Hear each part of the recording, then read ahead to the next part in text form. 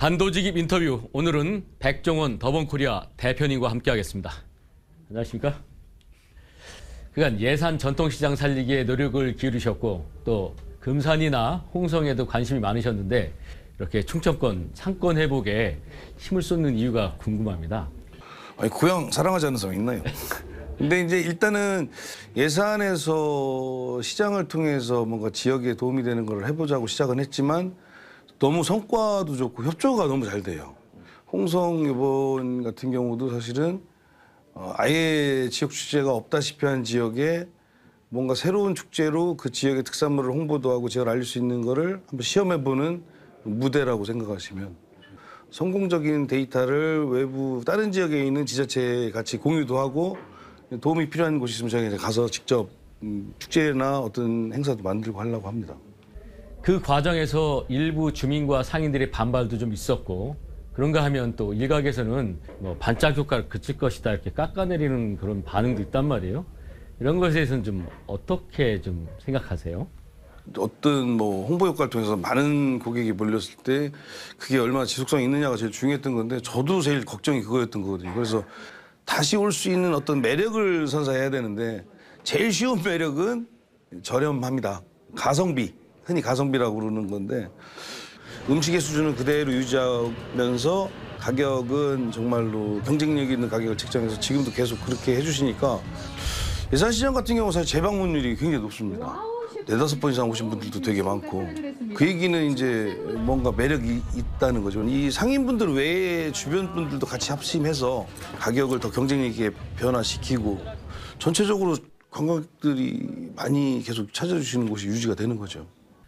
얼마 전 금산 축제 현장에서 응급 환자를 심폐소생술로 살리셨는데 그게 화제가 되고 있는데 그때가 어떤 상황이었습니까? 그게 이제 축제장 방문해서 일정 어느 정도 한 다음에 군수님하고 그 관광공사에 계신 분하고 같이 식사를 하러 갔었어요 식당에 딱 언뜻 봐도 좀 여성분인데 이렇게 해서 우리 방으로 들어오는 듯 하다가 쓰러지는 게 보여서 깜짝 놀라고 달려 나갔는데 이제 그게 이제 계단이었었던 거예요 군대 있을 때 장교 생활을 했는데 미리 교육도 많이 받고 수실하다 보니까 또 요즘, 요즘 심폐소생술은 거의 남자들은 필수 아닌가요? 정말 다행이죠. 네. 그래서 이제 전통시장도 살리기도 하고 골목 상권 살리는 거에 또 이제 많은 선한 영향력을 미치는 거에 대해서 어, 많은 분들이 이제 응원을 하시잖아요. 차라리 현실 정치에 참여해서 더 큰 영향력을 미치는 건 어떻게 생각하십니까?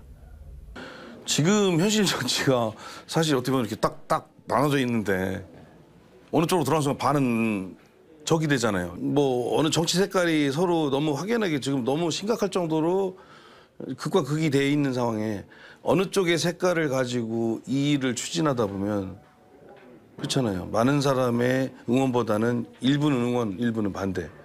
사실 이러면 지역에 도움이 되지 않잖아요. 사실 옛날부터 많이 써왔던 얘기지만 화합 그리고 서로 소통 중요한데 사업하는 사람에 있어서 지- 제일 절대적인 거죠. 한국 음식, 네. 이제 K푸드의 세계화 어, 관심이 많으신 걸로 알고 예, 있고 맞죠. 그래서 지금도 해외에 나가서 많이 심의를 기르시는데 가능성 있어 보이세요? 어, 있죠. 엄청나죠. 제가 그 전에 뭐 한 5, 6년 전 외국 나가면 이렇게 보고 아직 딱 표정이 벌써 아시아 사람이구나 하는 표정이 있는데 지금은 딱 보면 너 혹시 코리아냐 라고 물어봐요. 이 정도로 한국에 대한 굉장한 관심과 애정이 생겼고 근데 이제 저는 계단을 밟아가야 된다고 생각하고 그 첫 번째 계단으로는 그 지역 사람들이 한식을 할 수 있는 여건을 우리가 제공하자. 그래서 어느 정도 생활화됐을 때 야 나 한식 정말 좋은데 오리지널 어떨까 하면 한국도 방문해보고 싶게 만들고 한국에 있는 식재를 갖고 들어가서 야 우리가 먹던 비빔밥에 비해서 두 배는 비싸 그런데 먹어보고 싶어 이런 단계를 밟아야 된다고 생각하거든요. 앞으로 국내에서도 많은 활약 부탁드리겠습니다. 고맙습니다.